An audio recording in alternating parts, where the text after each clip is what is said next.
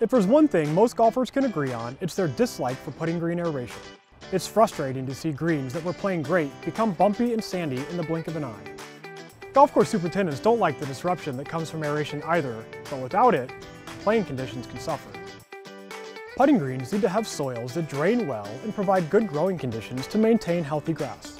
As grass grows, a natural layer of organic matter, or thatch, builds up near the surface. This layer acts like a sponge that slows drainage by absorbing water. It also keeps roots from growing deep, promotes disease, and contributes to soft, bumpy playing conditions. The best way to control the buildup of organic matter and improve putting green soils is with a combination of aeration and top dressing. So, how does it all work?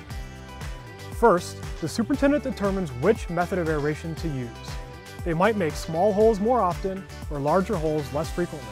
They can remove cores, punch holes, inject sand, or use some combination of the many techniques available. Dates are then scheduled, with careful attention paid to the golf calendar and available labor.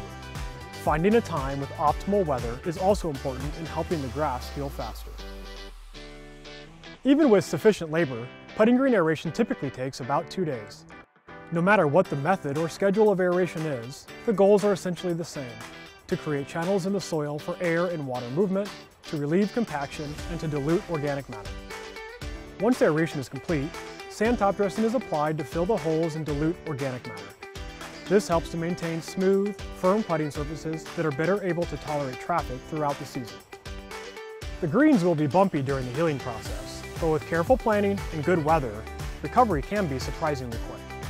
It might take a week or two for the greens to heal completely, but in the grand scheme of things, it's worth the temporary inconvenience to play on great putting surfaces all season long. And who knows, an aeration hole might bounce your ball into the hole the next time you play.